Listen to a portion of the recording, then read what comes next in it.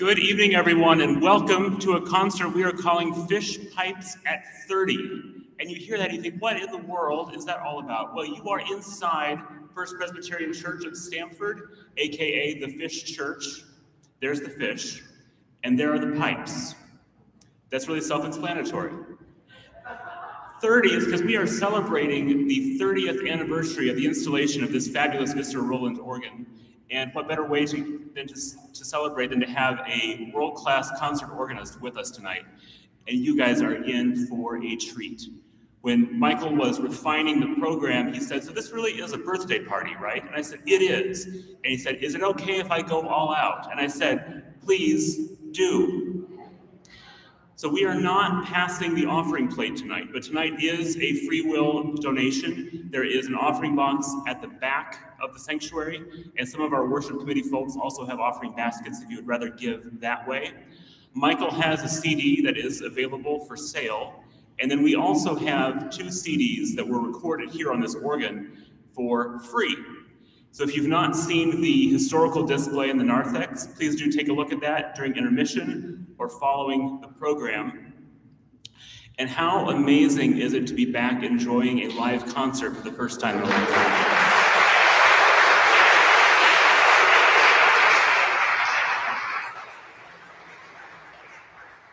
And so my name is Kevin Bailey. I'm the minister of music here at the Fish Church, and I just get to be among you all and sit and listen tonight, which I don't get to do very often, so it's a treat for me as well. And this program is being partially underwritten by the Fairfield West chapter of the American Guild of Organists and the City of Stamford Arts and Cultural Grant Mayor David Martin. So thank you to those organizations for helping.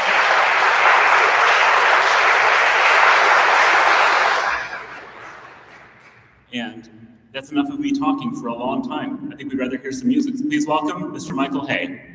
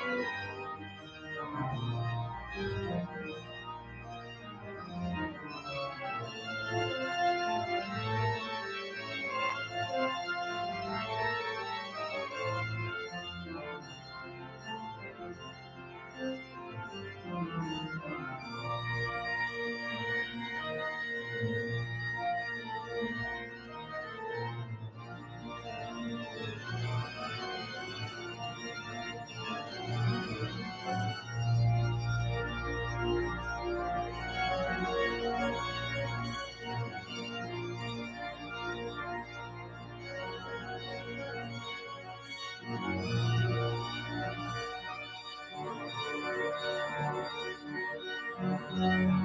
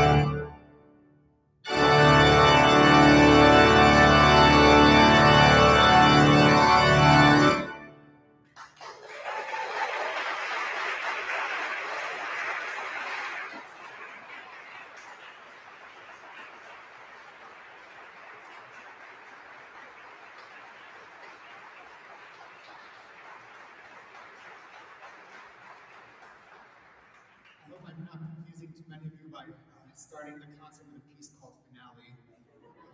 I do hope that you all stay for some more music. Um, it is such a pleasure to be here tonight to celebrate the anniversary, the 30th birthday of this wonderful Visser-Rowland organ. Uh, when I started programming for it, I was looking at some of the information about the organ online and some of the information that Kevin had sent me about the organ. And when I came here, I realized that this organ is really, really versatile. So I started changing pieces left and right. I thought, well, it's a party, it's a birthday, it's almost as old as me, and we have to we, we have to make it fun. It's a Friday night, we're here together. It's just such a joy to see people in here together where we can celebrate and listen to music. So thank you all for being here.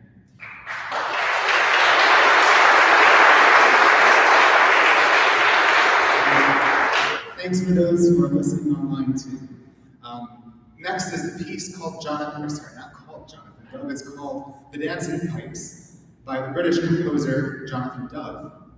It was composed in 2014 or 2015 and is a perfect example of minimalist minimalism minimalism music that's written for the organ there's not too much minimalism written for the organ and that doesn't mean i'm only playing a couple notes minimalism is when we take short fragments of notes, little figures, a couple melodies here and there, and we spin out and create a whole big piece of music with shape and form and beauty. So this is called The Dancing Pipes by Jonathan Dove. And uh, as I concentrate ferociously, I ask all of you to just sit, sit back and let the sound wash over you.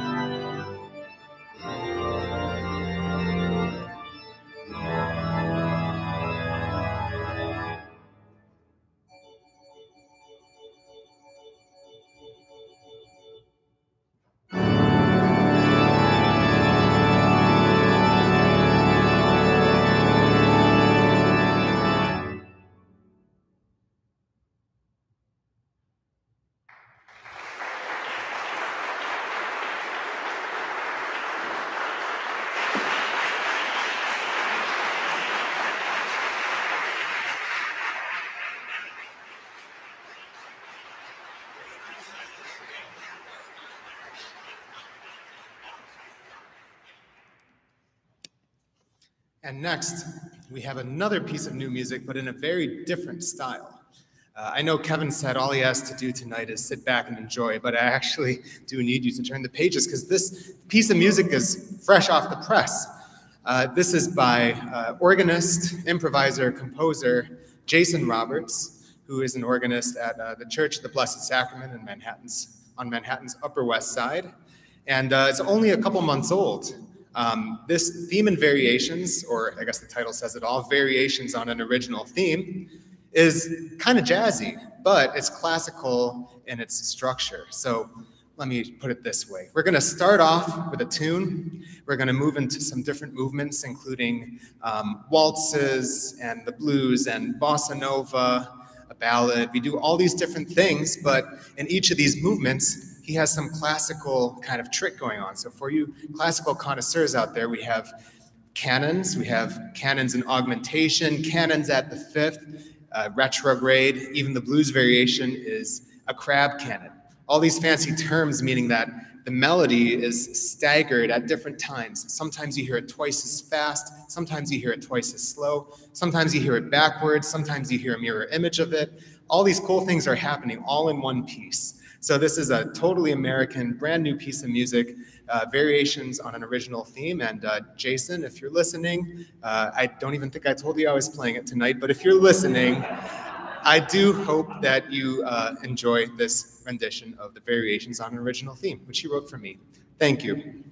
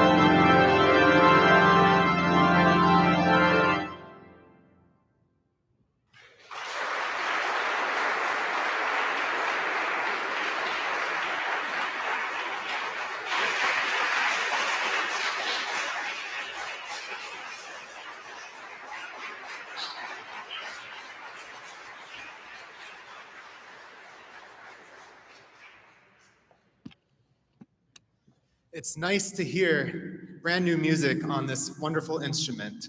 Um, this instrument obviously has stood the test of time because I'm able to, it's able to do exactly what I want it to. So uh, we have a little bit of an addition here tonight. She's not just walking in because she's lost. This is Christiana Liberis, who's going to be playing violin. So Christiana,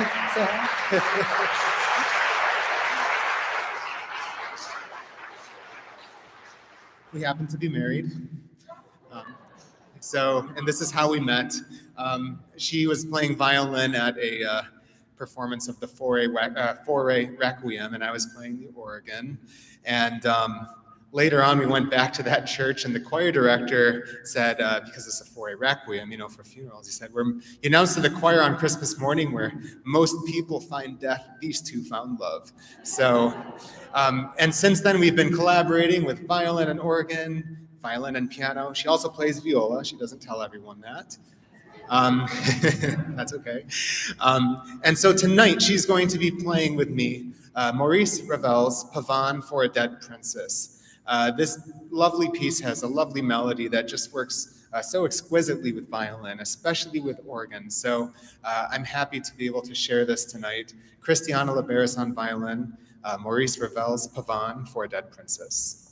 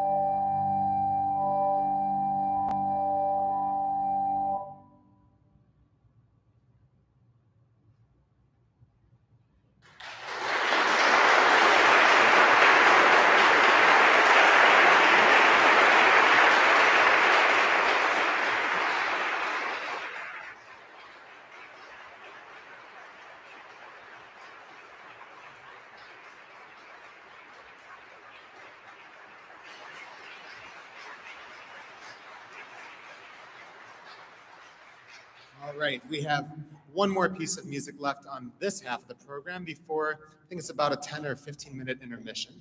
So this is, uh, now we're starting with the first movement of a different symphony. This is the first movement of Charles Marie Widor's Sixth Organ Symphony, the Allegro. Uh, it speaks pretty well for itself, but this comes from an era of organ music in which uh, the French organists in the 19th and 20th centuries wanted the organ, which Mozart described as the king of instruments, to sound symphonic. So uh, this organ does symphony quite well. So this is the Allegro from Charles Marie Widor's Sixth Organ Symphony, and see you after the half.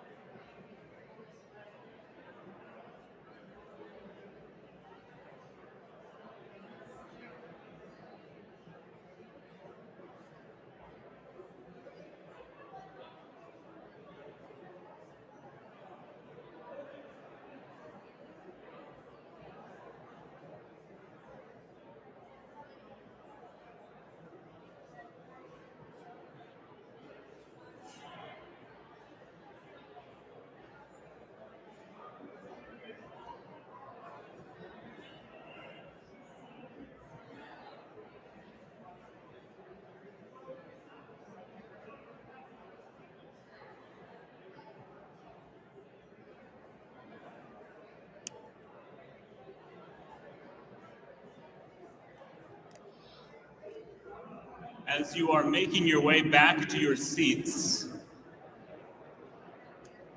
that's a hint. As you are making your way back to your seats, we're all realizing it's also been a while since we've been able to mingle at an intermission and actually talk to some people. So it's great to see that you're all enjoying that. Before Michael begins the second half, I asked if he was going to introduce the next piece or if he's just going to dive right in. So he's going to dive right in in just a little bit. But I do want to uh, thank two additional people. Um, mentioned the, the historical display that has pictures of the organ's installation and construction. And those are a lot of um, pictures that exist in our church archives, courtesy of my predecessor, Jim Weatherald, and Jane Love, one of our historians. And then that display was assembled by Alina Petroni, one of our members, uh, uh, in a very short amount of time. So I want to thank, thank Alina for that.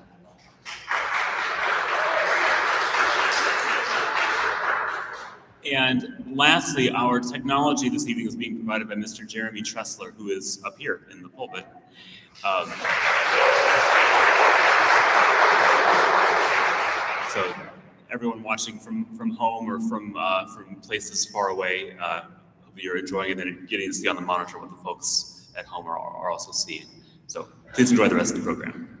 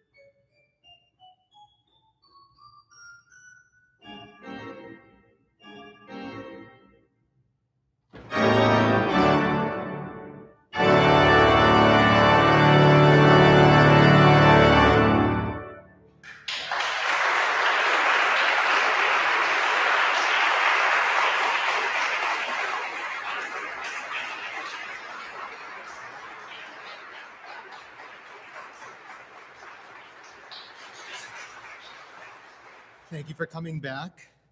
Um, this second half, oops, I didn't press the button. Thank you for being back here. Um, the second half is uh, going to go by rather quickly. Um, I have just two works left. So I'd like to thank everyone for being here, first of all, because uh, without an audience, we don't have a concert. We just have another live stream. And um, I think through the pandemic, I've, I've felt I've had my share of live streams, and I'm happy to just see real people in front of me here today. So uh, thank you all for being here. Thank you to the Fish Church for. The Fish Church for uh, having and, and, hosting this organ recital on the 30th birthday of this organ. Um, definitely thanks to Kevin and Pastor David and all the congregation here for making this possible. Um, the next piece is a short work called Solitude by a friend of mine who I went to school with. And uh, she resides on the West Coast and uh, wrote this lovely piece for piano, which I heard during the pandemic and I've arranged for organ. So, uh, a short piece called Solitude by Nari Soul.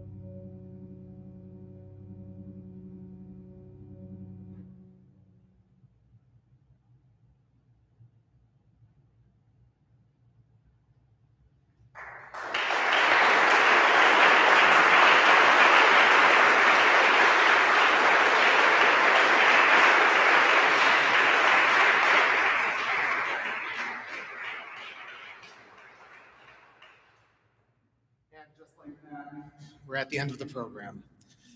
I have one thing left tonight because if we haven't had enough bombastic, loud party music yet, I have one more thing left called pageant. Um, this, sort of like the Jason Roberts variations, is by an American composer, Leo Sowerby, and it's sort of variations uh, on a theme that sounds kind of like Tin Pan Alley. So Leo Sowerby resided in Chicago and was the director of music at St. James Episcopal Cathedral, and I wrote this in the 1920s. Uh, so tonight, I will be playing Sowerby Pageant, and uh, behind us, uh, we actually have a very complex instrument called an organ, which was, um, before the Industrial Revolution, known to be the most complex uh, machinery on Earth. Uh, and things happen when we have complex machineries. I mean, think, think you know, of your phone or think of your computer and you say, darn it, like, why is it not doing what I want it to? There is, everything is in perfect working order on this organ, except right before the concert, there's one pedal note that I must have destroyed while playing and practicing. One really high note in the pedal. Uh, so, uh, basically we have somebody inside the organ named Kevin who's going to be pushing that note back in every time I play it.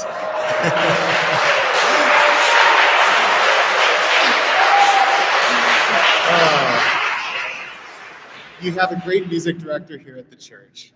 Um, this kind of reminds me real quick of a story of my piano teacher who um, in his back in the day he did piano concerts all around the world for the state department and he found himself in swaziland for a piano recital, and the piano. Um, apparently, he pushed. He sat down. He played a few notes, and the keys didn't go back up. And um, the the host said, "Oh, we've prepared for that. We have two assistants on each side of the piano, and they'll be pushing the hammers back in as you play." Uh, and mid concert, he's told me this story like a million times, but mid recital, um, while he was playing his very, very slow program, uh, I guess they encroached on each other's territory and they actually got into a brawl. So thank goodness it's just Kevin back there. And um, thank you all again for being here tonight. This is Leo Sowerby's pageant.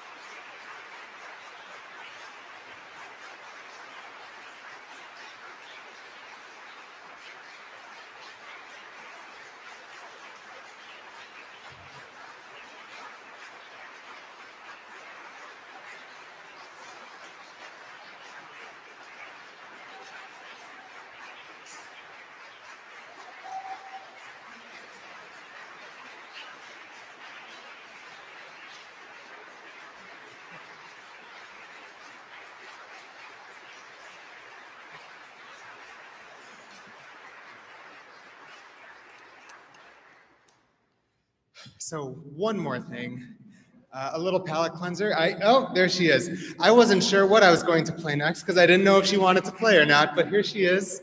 Christiana's back, and we're going to soothe you with a nice, relaxing, quiet meditation from Thais.